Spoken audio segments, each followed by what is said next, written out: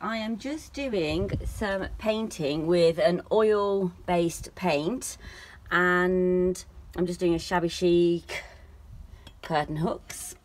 Um, anyway, I've got it all over my hands and I just wanted to show you a natural way to get oil paint off your hands. It's a just a normal oh, interior, exterior wooden metal paint, but it's one you have to use white spirits with to clean your brush.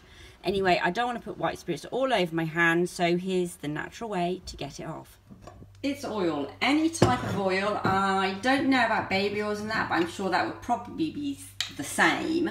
I'm using like just cooking oil, any cooking oil that you normally use. Put a bit on your hands and rub it all in. And it, as you can see, starts breaking it down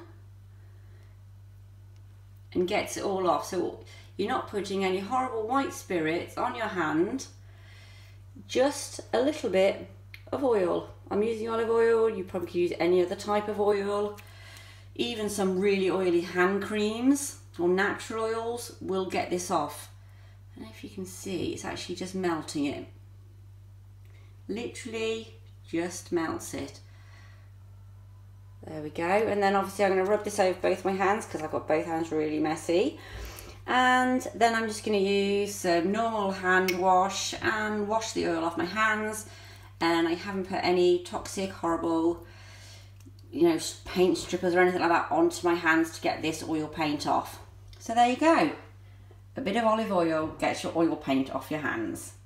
I've now put a bit of washing up liquid on and just worked it into the oil and that and you can see it goes sort of goes quite a whitish colour and then you just rinse your hands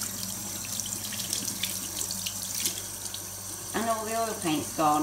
It's brilliant, it's natural, it's good for your skin and there you go, no harsh toxic chemicals. I hope you like my video. If so, please give me a thumbs up and subscribe for more DIYs and handy tips. Thanks for watching.